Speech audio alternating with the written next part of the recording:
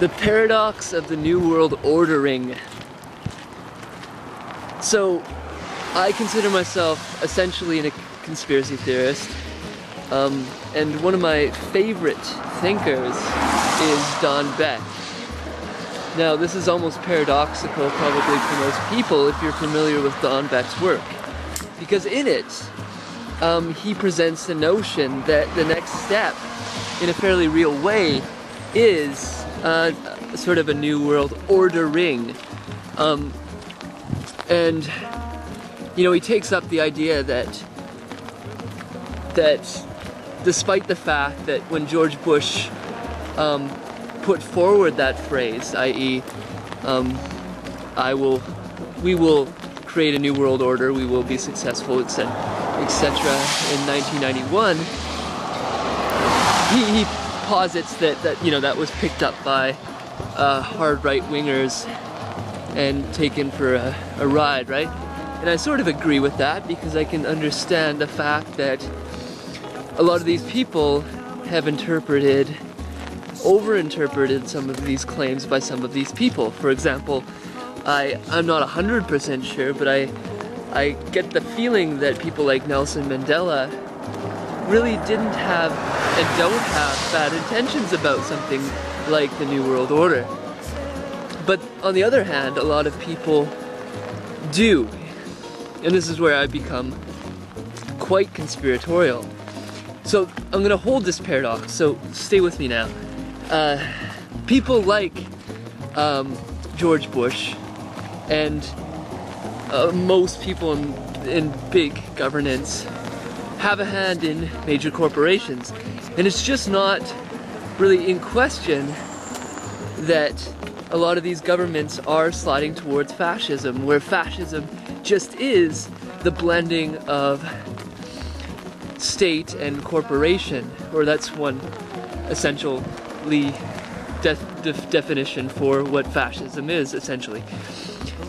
So we have this, this creeping sort of fascism um, with real ties to sort of Nazism when you really dig into it uh, through secret programs that were established after World War II from people through Argentina.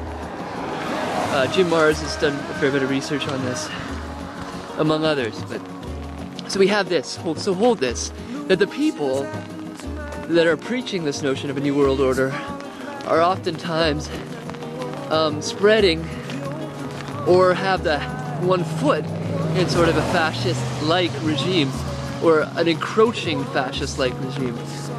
So on the other hand, I highly agree, and this is essential, that we are in some way, whether it be fascistic or otherwise moving towards a non-state-like system. It transcends the state. It is global.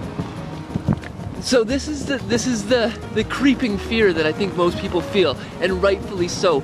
If we're going to have a new world order, but a global order, a new ordering of the globe, of peoples, of societies, of cultures, we want it to be good we must stand up and ensure that that what happens as a people, as a global community of earthlings, is one that we can morally believe in, that we can stand behind, that we can feel as though we are connected as one person, as one people, not one person, one, one people in unity for goodness, truth, and beauty.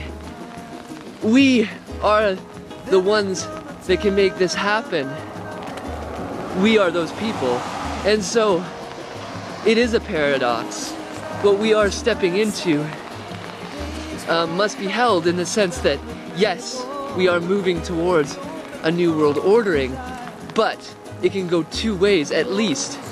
One is highly fascistic, and the people that are in power presently seem to want that through corporate driven systems.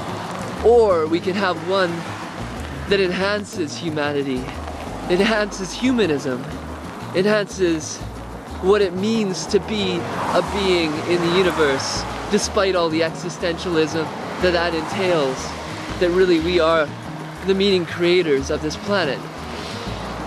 And that you know, there's going to be perspective wars almost necessarily because of the diversity of views on this planet. But as the people that want to take on the reins of this transition, you have to hold that complexity, that chaos, that movement towards something greater. I believe. I believe. I do.